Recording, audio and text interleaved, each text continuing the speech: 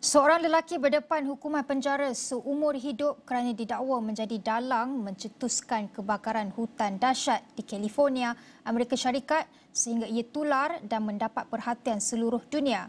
Ronnie Dean Stout bagaimanapun menafikan dakwaan itu yang mana katanya ia adalah satu kemalangan dan tidak disengajakan. Perbicaraan terhadap Stout itu bermula selepas mahkamah dan pendakwa raya mengumpul keterangan saksi yang mendakwa ada melihat Stout memandu kemudian dengan sengaja menjunam kereta miliknya ke dalam gaung.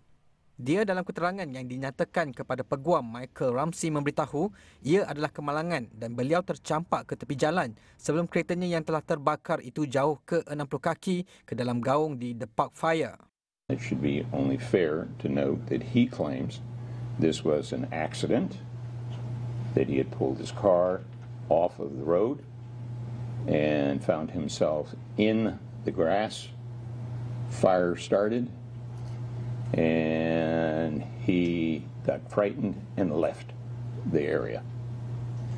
Uh, he denies the statement of a witness at the area that he pushed his flaming car down into a gully six, 60 feet down.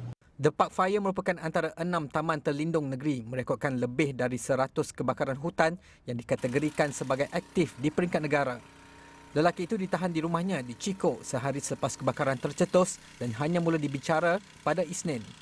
Dia dibicarakan atas dakwaan jenayah pembakaran dan merosakkan harta benda yang didiami.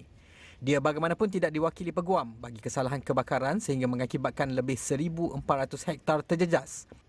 Kebakaran itu menyebabkan 100 struktur rosak dan mengancam lebih 4,200 nyawa. Bomba hanya dapat mengawal 12% kebakaran itu dan kebanyakannya hanya dapat dikawal dengan bantuan cuaca sejuk pada hujung minggu.